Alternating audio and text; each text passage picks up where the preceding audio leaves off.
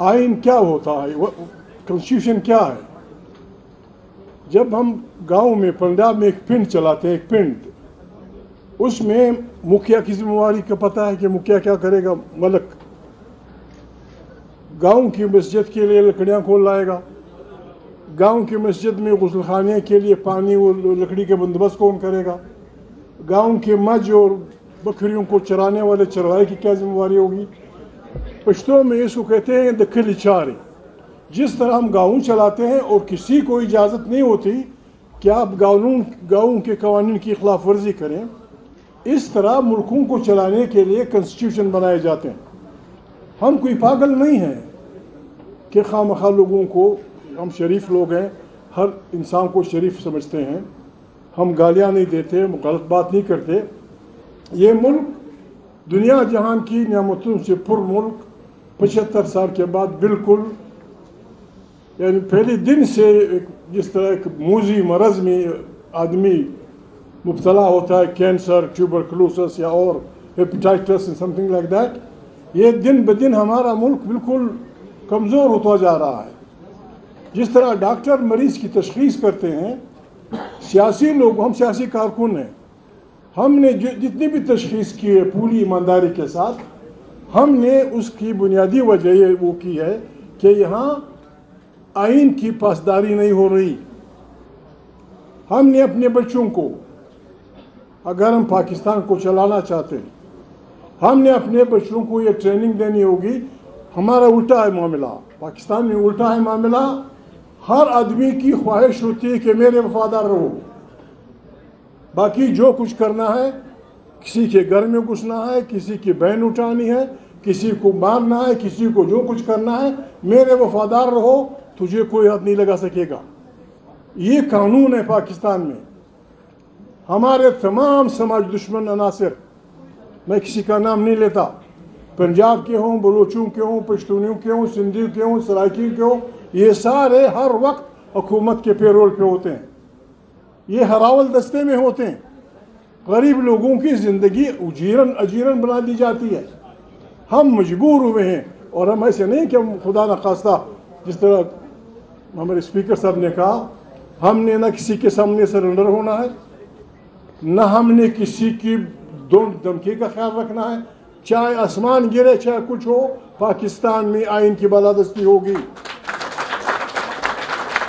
इमरान खान जिस आज़ादी की बात करता है वो आज़ादी आ नहीं सकती। जब तक वोट से मुंतखब हुकूमत तो वोट से मुंतखब पार्लियामेंट ताकत का सरचश्मा नहीं होगा। जब मुल्क की तमाम खारिजी दाखिला पॉलिसियाँ वहाँ से नहीं होंगी।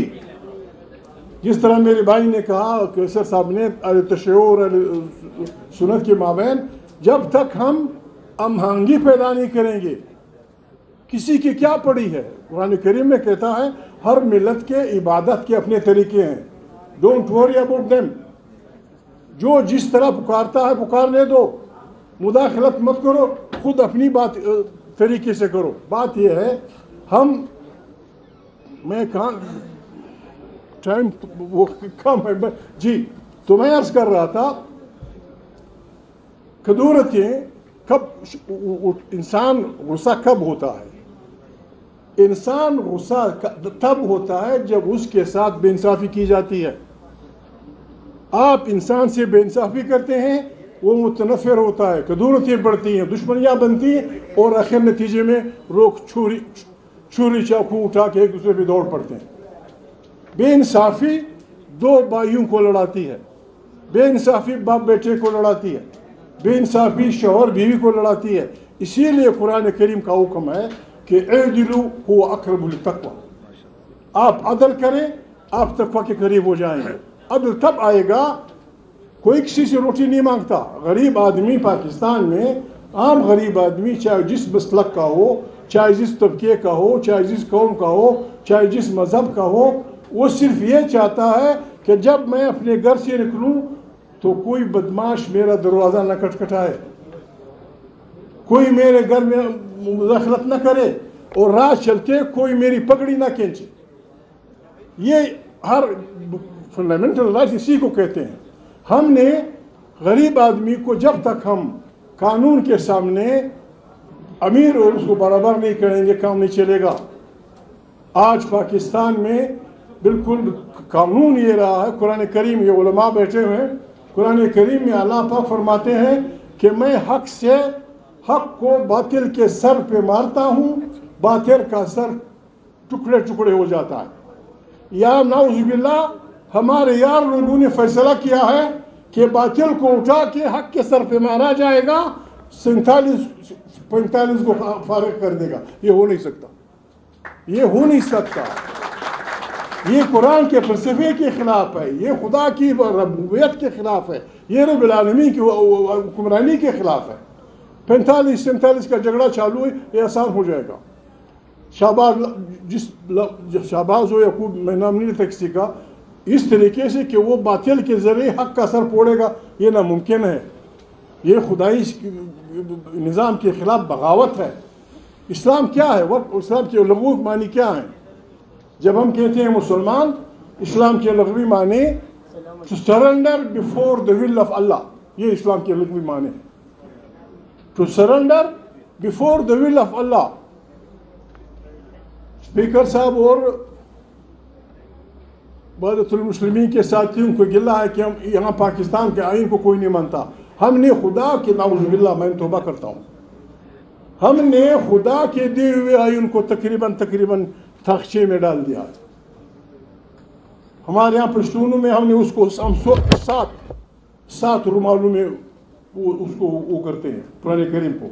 जब कोई मरीज़ होता है, फिर उसको फेरते हैं अल्लाह, खैर कर अल्लाह, कुरान शरीफ को। बाबा, कुरान शरीफ, फिर हम लोगों को धोखा देने के लिए भाई, हम ये निज़ाम लाएँगे, हम वो गड़बड़ मत करो, निज़ाम तुम्हारे घर में पड़ा हुआ है। चार, तीन सौ सफ़े का कुरान मजीद है। तीन सौ सफ़े की क्या, हमारे यार लोग महीनों में तीन तीन हज़ार सफ़े पढ़ते हैं। कुरान करीम पढ़ा है, ये इंसानियत का कानून है, ये इंसानियत का आइन है, हमारे पाकिस्तान का भी आइन है। हमने इन दो आइनों को आगे लेके चलना है। लेकिन एक बात अब बुरा ना माने, अब डॉक्टर लोग हैं, मैं माफ़ी चाहता हूँ। हमारे एक बुज़ुर्ग था, मेरे वालिद नहीं, कोई और था। हमारा एक बुज़ुर्ग था, वो कहता था, वो कहता था कि बाज़ लोग दानिशखोर होते हैं, बाज़ लोग दानिश्वर होते हैं। हमारे यहाँ दानिशखोरों की अक्सरियत है। हर आदमी बस कहता है कि मैं बुकरात हूँ हर आदमी कहता है मैं सोक्रेटिस हूँ, हर आदमी कहता है मैं प्लाटो हूँ। हम सब कुछ हैं, लेकिन हमने ये फैसला करना होगा। हम 25 करोड़ इंसानों का मुल्क है। हमने अपने बच्चों को तरबियत देनी है। बेटा, इस खाक से मोहब्बत करो। इस खाक से मोहब्बत करो। इसकी इज़्ज़त के लिए लड़ो। इसकी बेइज्जती करने वालों के खिलाफ लड़ो। मुकाबला करो। और ये जो नई तमाशा में शुरू की है, मेरे वफादार बनो, ये नहीं चलेगा। ज़िंदगी कहाँ चली गई है? गरीब आदमी बारह सौ रुपये वो रोज़ाना नहीं मिलता।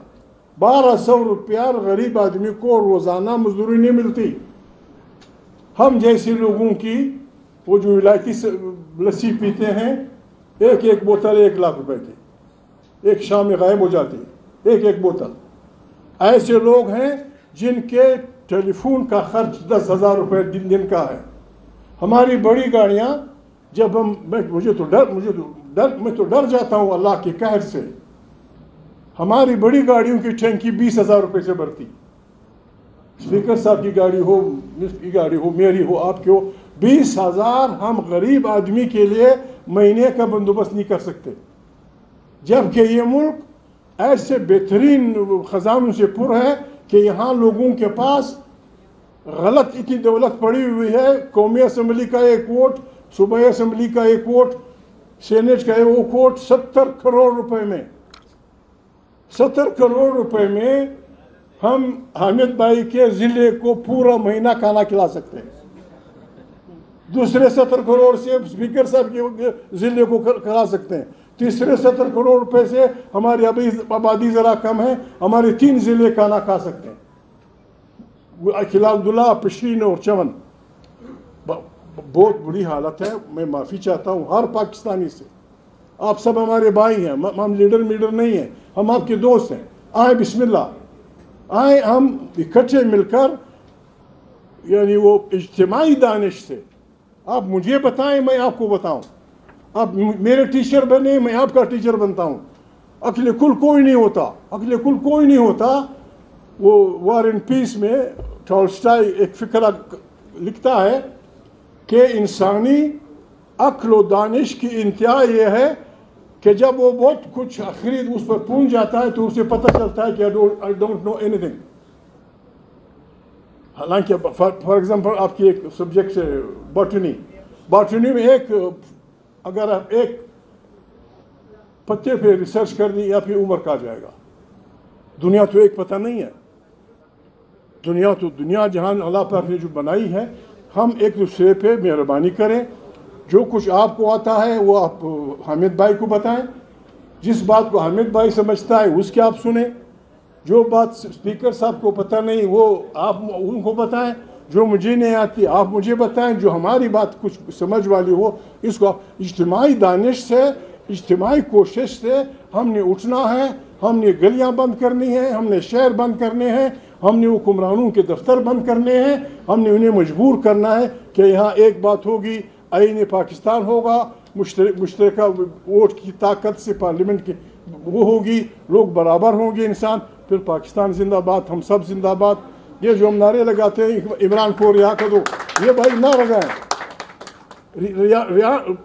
इमरान को मैं सख्ती बात नहीं करता मैंने वादा किया है सख्तियों से इमरान को कौन उसने आना है खाम खा आना है उसने निकलना है वो आएगा डंके की चौक पे आएगा आप इस्तकबाल करेंगे और जो ये बात मेरे बेचे ने की जब यहाँ इमरान बैठा होगा इसका जवाब मैं तब दूँगा God bless you.